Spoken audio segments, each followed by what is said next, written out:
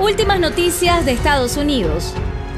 Bienvenidos amigos a nuestro canal informativo donde puedes conocer, enterarte de lo que está aconteciendo en Estados Unidos y en el resto del planeta. Because homegrown biofuels have a role to play right now, right now.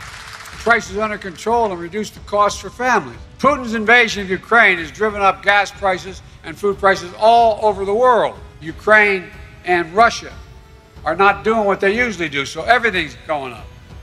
We saw today's inflation data. 70% of the increase in prices in March came from Putin's price hike in gasoline.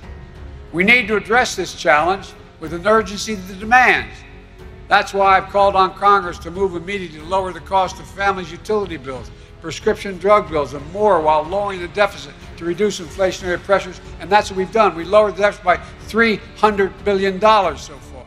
But even as we work with Congress, I'm not going to wait to take action to help American families.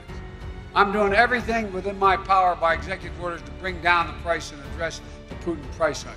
I've authorized the release of 1 million barrels per day for the next six months from our Strategic Petroleum Reserve. This is by far the largest release of our National Reserve in history. It's a wartime bridge to increase oil supply as we work to, with U.S. Producer, oil producers to ramp up their production this year. And we're not just learning and leaning on our reserves and our allies and partners to help bring down gas prices and to power the nation. We're leaning on you, our farmers, our biofuel refiners. Today, I'm announcing that the environmental, and I don't think it's much of an announcement, it's already broken out pretty much the last 20